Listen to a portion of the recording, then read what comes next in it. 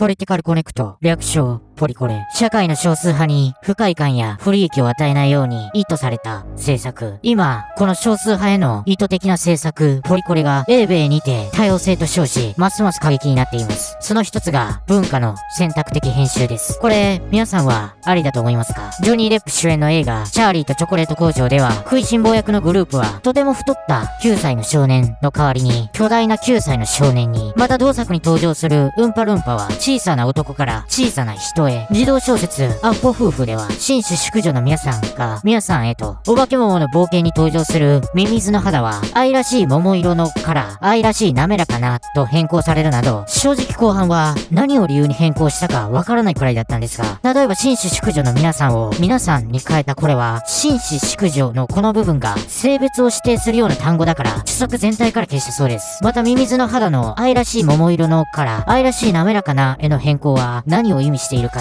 肌の色への言及があったからだそうです。もうこれ完全に差別意識がある人の発想なんですよね。以前の動画でも話しましたが、差別をされてる当事者の人って、実は別にそんなに意識していないのに、そのそばにいるマイノリティを叫ぶ一部の過激派が大弁と称し、こういった主張をしているんです。27時間テレビでは、障害者がいかにかわいそうな生き物かを解きましたが、あの感動ポルノと化した番組と一緒で、結局は障害者などの少数派を利用して、個人的見解を主張したいだけの人がいるんです。そういう人を私は、マイノリティの皮をかぶったカルチャークラッシャーと呼んでいます。その人たちが、マイノリティというポジショントークで、超有名な作品を私たちが変えたという越に浸っているとしか思えないんです。ただ彼らの言い分では、今日でも全ての人が楽しめるようにという理由で変更を加えたそうです。今回のこの編集に対し、米作家、サルマン・ラッシュリーは、ツイッター上で、ロワルド・ダールは天使ではなかった、と、生前の言動に偏りがあったと認めながらも、しかしこれは、馬鹿げた検閲だ。パフィン・ブックスと、ロワルド・ダール物語者は、恥じるべき、と批判。文学と人権の中間で、表現の自由を守るとする、非営利団体、ペン・アメリカの代表、スザンヌ・ノッセルは、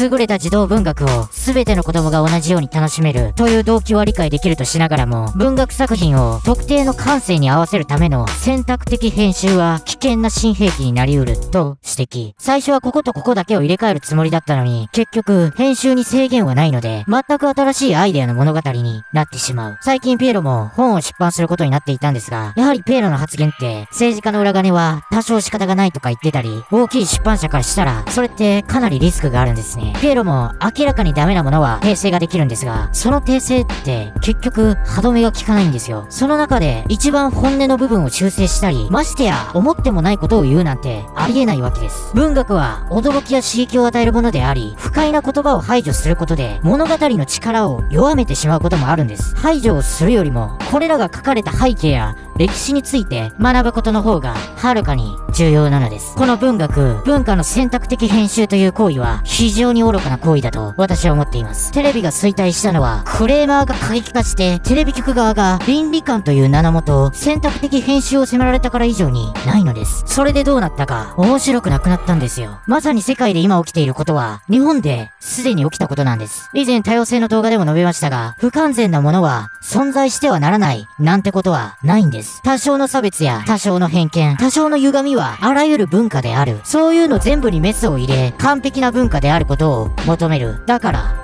滅ぶんです。歪んでいるのが自然なんですよ。そういうことにも気づけないバカがまた、世界で力をつけてきたということです。私が影響力を上げていく最たる理由に、こういった声がでかいだけの人の意見が簡単には社会で通らないようにすることがあります。本来こういったことは松本さんやヒカキンさんなど影響力がある人がやってくれていればいいんですが、誰もやらないので、ピエロがいずれ大きなフィルターとなります。